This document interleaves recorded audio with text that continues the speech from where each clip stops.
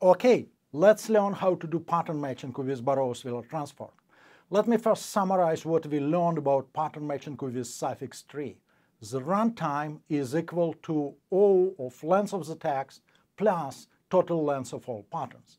Memory is, in the best implementation known today, is 20 times length of the text, which is high for large strings like human genome, 3 billion nucleotide long. So the question we will try to address in this lesson is, can we use Burrows-Wheeler transform to design a more memory-efficient linear time algorithm for multiply pattern matching? So let's see how we can do this. Let's search for Anna in Panama Bananas. Well, we'll definitely start by noticing that there are six rows that start from letter A. But when we look, and uh, please notice also that we are currently matching the last symbol in Anna rather than the first one. This will be important. So there are six rows starting from A, but only three of them are ending in N, what we need, because we are looking for match matching the last two symbols now of Anna, which is NA. So we narrow attention to these three symbols, and using the first last property, we can figure out where these three ends hide in the first column of our Burrows-Wheeler matrix, here, here, and here. After we found uh, where they appear in the first columns, we know where na appears in the, uh, in the string, and we actually found three matches of na. This is the last two symbol in Anna. Let's now try to match the first symbol in Anna, and we know where to look for this first symbol. We look for them correspondingly in the last uh, columns of these three strings.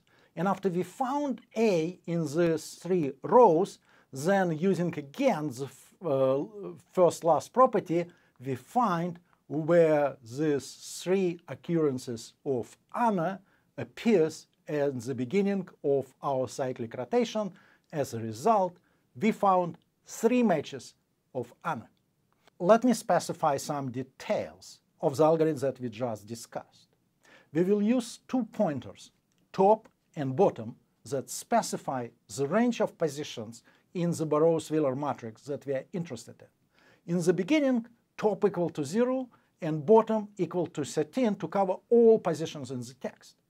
At the next iteration, the range of position we are interested in is narrowed to all position where A appears in the first column. Then what do we do afterwards?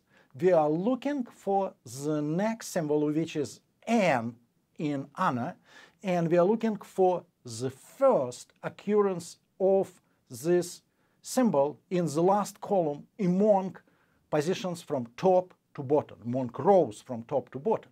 And likewise, afterwards, we are looking for the last occurrence of this symbol. As soon as we found the first and last occurrence of this symbol, in this case n, the first last property will tell us where this ends and all ends in between are hiding in the first column. As a result, the pointers uh, top and bottom equal to 1 and 6 are changing into 9 and 11. We narrowed the search. And then we continue further, and that's how we find the positions of Anna in uh, the text. The algorithm that I just described translate in the following BW matching pseudocode. And you can see lines in green describe what we have been doing with these top and bottom pointers.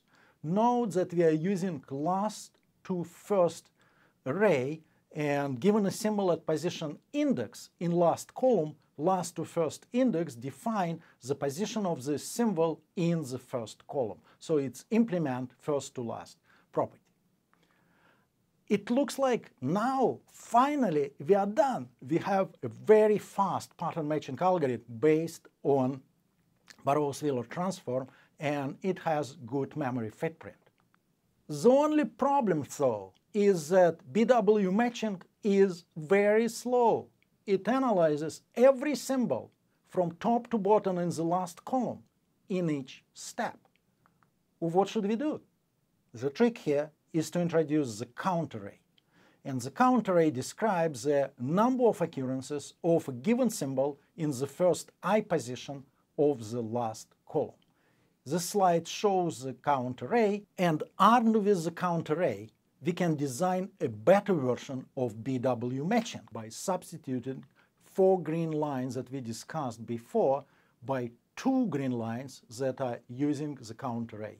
And as you can see, we don't need anymore to explore every symbol between uh, top and bottom indices in the last column.